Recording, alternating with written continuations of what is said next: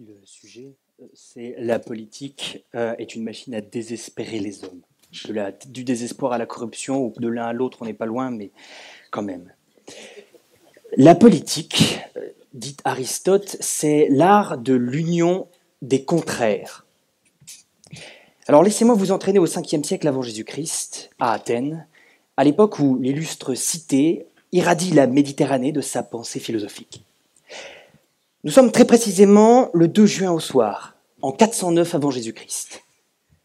C'est une soirée semblable à celle que nous partageons maintenant. Le printemps a ranimé la terre, il a réveillé la vie. Les journées s'allongent, la nuit s'installe lentement dans une douce chaleur un peu moite. L'ambiance idéale pour organiser une orgie. Et justement, ce soir, Socrate, Platon, Parménide, Thalès, Pythagore et d'autres théorèmes se retrouvent chez leur ami Xénophon, où ils vont faire une découverte phénoménale. La fête bat son plein et les convives s'enivrent de ciguë, mais si les apparences sont légères, le sujet est très sérieux.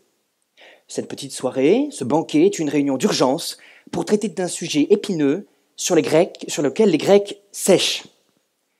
Le constat, il est simple, il est terrible.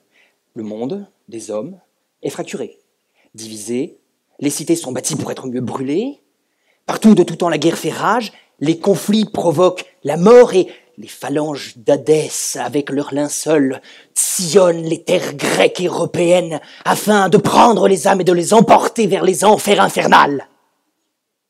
Le monde est plongé dans l'état de nature, un immense chaos, en raison d'une division originelle, une séparation irrésolue, une fracture substantielle qui oppose depuis toujours les hommes aux femmes et qui conduit irrémédiablement l'humanité vers les ténèbres.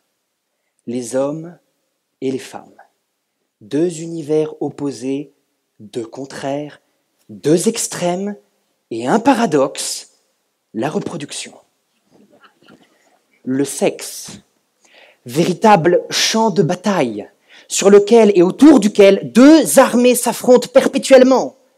Un affrontement toujours mené par les Amazones, bien conscientes de leur supériorité. Voilà donc l'histoire du monde, celle des hommes, menée à la baguette par les femmes, toujours promptes à utiliser le désir qu'elles animent pour obtenir ce qu'elles veulent. Plus fort si certains ne sont pas d'accord. C'est donc cette affaire qui inquiète nos amis philosophes. Comment régler cette incompatibilité structurelle? Et Aristote d'être frappé par un éclair de génie. Il théorise la politique, un concept radicalement nouveau qu'il définit ainsi, je vous le disais, la politique est l'art de l'union des contraires. Telle une machine capable de transformer une forme d'énergie une autre, la politique serait un moyen de transformer l'altérité en force pour atteindre la paix sociale. L'idée est énorme, providentielle, prometteuse. Le soleil se lève donc sur les restes du banquet, les corps ivres, souillés, pleins de vin, mais surtout pleins d'espoir. Aristote écrira par la suite un livre, La politique, best-seller, et sa théorie convainc, elle inspire les hommes partout, jusqu'en Chine, où Confucius traduira Tout est affaire de sexe, sauf le sexe, qui est affaire de politique. Tout de suite, les hommes se saisissent de la politique pour apaiser les rapports avec les femmes. Ils font de la démocratie, régime selon lequel les citoyens sont égaux, où ils prennent collectivement les décisions et où chacun peut exprimer ses idées, et où le sexe peut être négocié. L'idée euh, semble marcher puisque les femmes sont enthousiastes, elles adorent le concept. Mais à la vérité, elles ne sont pas dupes et vont finalement laisser les hommes jouer entre eux. La politique devenant alors une véritable arène, un colisée, où les gladiateurs s'affrontent pour prouver leur valeur, faire étalage de leur médiocrité. Et lorsque la compétition n'est plus assez stimulante, certaines sirènes un peu envoûtantes ne manquent pas d'y ajouter un peu de piment. D'un battement de cils, Hélène de Troie provoque une guerre épique. D'autres fois, lorsque les hommes s'assagissent trop vite, Les femmes les poussent un peu au vice, et voilà qu'Antigone théorise le concept de désobéissance civile. Les hommes, pris au piège, n'ont plus qu'à constater le détournement de leur machine, qui, loin de leur procurer la paix, les conduit à entrer dans une lutte de l'homme contre l'homme, comme de vulgaires animaux destinés à saisir, à, parader pendant la saison des amours. Tout semble perdu.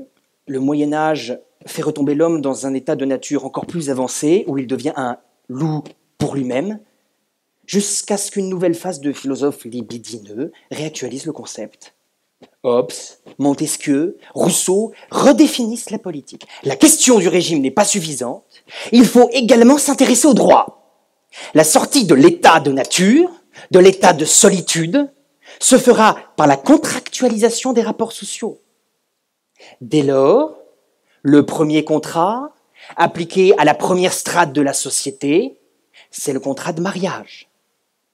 Et pourtant, l'union contractuelle des sexes, loin d'assurer l'harmonie, exacerbe les conflits.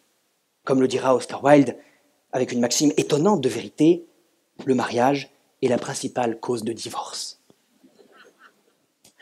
Et en effet, une fois encadrés par le droit, les hommes se retrouvent prisonniers dans une relation exclusive, seul à seul, avec une seule femme dont ils doivent épouser la personne, mais aussi la famille, les dépenses, les sautes d'humeur. Et la femme se retrouve seule à seule avec un seul homme, dont elle doit épouser la paresse, la libido, la bêtise, l'obstination. La conclusion est inévitable.